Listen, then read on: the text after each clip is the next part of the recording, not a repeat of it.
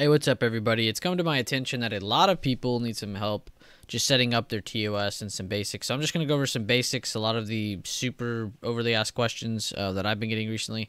Um, one happens to be involving the labels up here, which I'll drop a link uh, I click share chart. I'm going to share this chart with you. I'm going to share it, and it's going to share you um, all the different labels on my chart. You just go over to your your thing here. You after you add it into your application, of course, go to your application, setup, at setup, uh, open shared item, add it here, and then it'll pop up. But add that, and then it save all these labels. You can put them in whatever order you want. That's the order I have them in, and then that gives you the labels. A second thing that I've been getting a lot of questions on is how do I keep getting this taskbar up here? It's I don't even know what it's really called, to be honest with you. It's called the My to on each chart, tools on each chart. But the way you get it up here is by clicking the cogwheel right here. At the bottom of the very first screen that pops up on general screen, go to My Tools, on each chart, click on each chart. Sometimes it starts on off, sometimes on a single panel, click Apply, then click OK.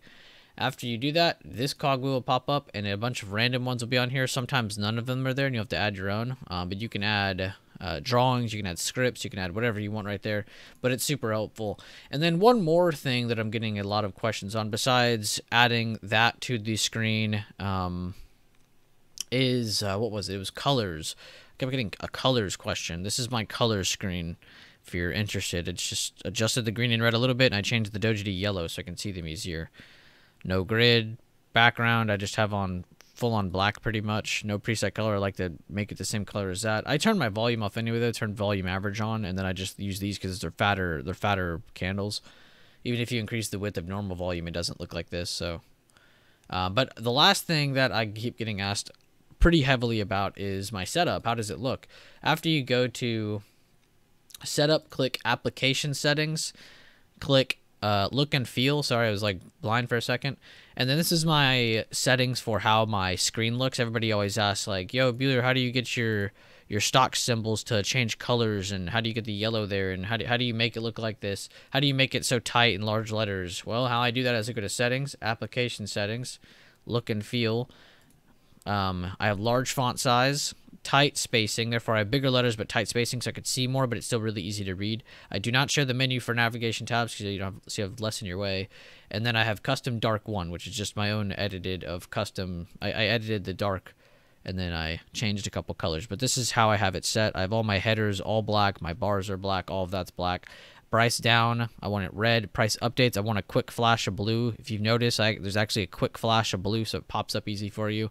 Price up green, labels white, text and values yellow. You can change any of this as you want. Um, super helpful though, and that's how I have my mine set up just like this. Uh, I have the scratch pad here, calculator, trader TV, market depth. I pretty much just use the scratch pad. I rarely use the trader TV, and I'll, I'll occasionally use the calculator. It is helpful. Um, the watch list, of course. Oh, oh, one more thing. Something that's super helpful that a lot of people don't use or even click on is this right here. So you can see right now I have this single SPY chart, right? This is what I'm looking at. I click double chart. Oh, wow. Now I have two of them. And it's because I went in here and I saved whatever I have set. So you can do that, but you can also... Oh, here we go with this. Uh, but you can also use the drawings uh, tab here. So like right now I have the SPY chart in front of me if I want to go over to my bigger time frame analysis, I don't want to look at that time frame. I want to look at this time frame without using it. It let's, let's say you're on your, your bigger time frame and you have all your levels clustered. You're like, oh, well, this is for my daily trading. I don't want to look at that. I want to look at less levels. Awesome. Then you can have it set for that. Or you want to look at a chart that has nothing on it. Awesome. Just focus on that. Then, you know, you can go back through that. But take advantage of that. That is definitely one of my most used features of TOS. Um, another one that a lot of people don't realize is the uh, Analyze tab up here. I know you can't see it because my thumbnail's in the way, but there's an Analyze tab there. And if you're on SPY on the selected screen uh, with this one right here, you can change that to one so it links it every time to your chart. You can actually look through here, and that's actually how I, I do my sectors. So if you're ever like, oh, what's SPY doing? Or what sectors are in SPY? How much is, is each one? Tech, you're like, oh, almost 30% of te- uh, of SPY is te- just tech by itself. So you go look at XLK, you go see what weights are in it. You should definitely be being paying attention to Apple and Microsoft at all times. It's very very helpful. Um, but that's definitely one of my most used tabs. And if you guys have any other questions or other things on TOS you would want me to go over, please ask. I'll go over more. Um, but watch list, the taskbar, the look and feel, um, how to get these labels up here, how to get your chart to look like mine. This is kind of a quick rundown video. I have a longer version for this for my YouTube members, like 30 minutes. Um, so this is kind of a quicker rundown version of that. I think I go through more than just that though uh, on that. Uh, my price level tools, if you want to see the settings for that, show the price on the right. I manually changed the color of them today my fib settings. I always get a lot of questions about my fib settings. What are these fib settings at?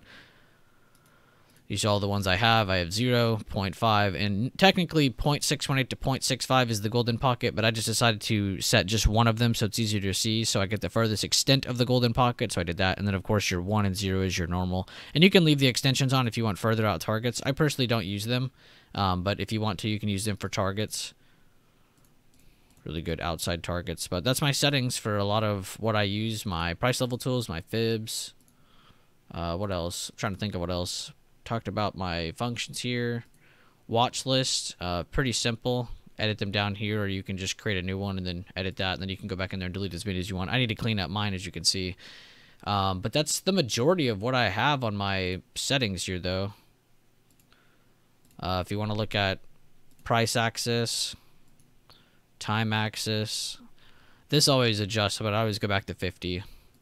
Favorite time frames, appearance. A lot of the questions, hopefully they get answered though. And uh, I will drop that link to this to this right here so you can have uh, an instant link to this. Actually, let me update this because I'm tired of it for this video. Let's rename it. Uh, save grid as for this video. Save. um, so I'll save it as that though, and you can have the link to the labels and all that stuff up top. But I'll see you guys later on. I hope you guys enjoy this video. And again, if you have any other questions or I can do a part two video on this and there's like more in-depth stuff, please drop them in the comment section below and I'll try to fit them into that new video. But I'll see you guys later on.